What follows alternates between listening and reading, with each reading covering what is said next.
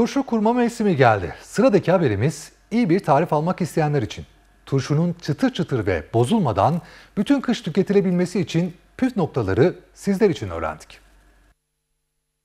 Kış aylarında sofraların vazgeçilmezi turşu evlerde kurulmaya başlandı. Bağışıklık sistemini güçlendirmeye yardımcı, soğuk algınlığına ve antioksidan içeriğiyle kansere karşı koruyucu özelliği olan turşu daha birçok faydası ve lezzetiyle kış aylarında sofralarda yerini alıyor. Tüm kış tüketilen turşunun yapımı da yöreden yöreye malzemeleriyle değişebiliyor. Önce e, kavanozumuzu hazırlıyoruz. Öncelikle cam kavanoz olması gerekiyor. Temiz olması gerekiyor. E, sonra tuzumuz, limon tuzumuz, şekerimiz, nohut, dut, e, diğer malzemelerimiz, lahanamız, e, küte, e, fasulye, biber ve havuç, sarımsak bunlardan oluşuyor.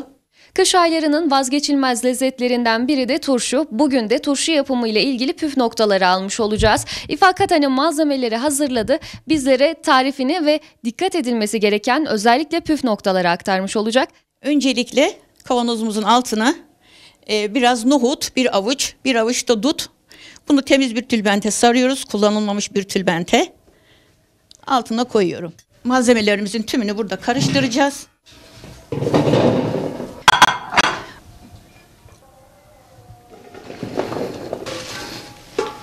Bunları şöyle bir karıştıracağım. Ya olmazsa olmazı zaten sirke, sarımsak, e, limon tuzu. Bunların mutlaka olması gerekiyor. Bütün malzeme aynı kabın içinde buluştuktan sonra cam kavanoza dolduruluyor. Peki kışın sertliğini kaybetmemesi ve bozulmaması için turşu yapımında nelere dikkat etmeli? Biraz e, sebzemizden koyduk. Biraz sarımsak döküyorum aslında tekrar. Biz karışık yaptığımız için hepsini beraber karıştırdık. İsteyen tek sıra halinde de e, farklı farklı dizebilir. Sertliğini kaybetmemesi için özellikle neye dikkat etmek gerekiyor? E, limon tuzu ve sirkesinin ve de sirkenin tarihinin falan geçmiş olmaması lazım. Bir de sebzeleri çok çok temiz yıkamak gerekiyor.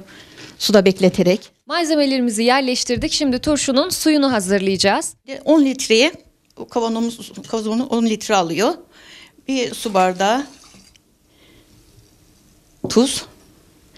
Yarım su bardağı da limon tuzu. Yarım su bardağı da şeker. Koyuyorum şeyini. Şimdi sirkesini koyacağız.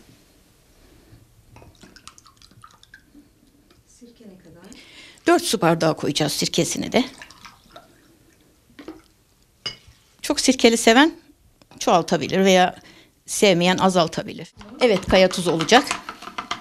Limon tuzu ve şeker. Suyumuzu dolduralım. Az kısmına birazcık maydanoz. Kokusunu güzel yapıyor. Hava almaması için hamurla ağzı kapatılan turşu daha sonra 40 gün bekletilmek üzere serin bir ortamda muhafaza ediliyor. Şimdi bir de hamur görüyorum. Hamur e, çok fazla bilinen ve şu an uygulanan bir yöntem değil. Bunu neden yapıyorsunuz e, ve nasıl e, koyuyorsunuz? Şumuz hava almasın diye, hani bozulmasın diye. Eskiden annemler böyle yaparlardı. Onu devam ettiriyorum ben de. Böyle yapacağız şimdi. Şöyle un, su, tuzdan oluşan bir şey. Turşumuzu güneş görmeyen serin bir yerde e, 40 gün kadar açmayacağız. 40 günden sonra olacak turşumuz. Pazar tezgahında yerini alan turşu malzemeleri ise 500 TL'yi buluyor. Çok pahalı. Ee, güzel olmasına dikkat ediyoruz ama çok pahalı. Alamıyoruz. Fiyatlar çok pahalı. Aldınız mı malzeme? Ee, aldım da ama nasıl aldım? Yani gerçekten de çok pahalı. Ya valla ben aldım işte e, toplam 500 milyon tuttu. Ben turşu yaptım 500 milyon. Vatandaş bu fiyatı pahalı bulsa da pazarcı esnafı fiyatların talep arttıkça daha da yükseleceğini söylüyor. Yükseldi. E, küte 10 lirayken 15-20'yi gördü. E, aynı şekilde kornişon e, 25 iken şu an 35'i gördü.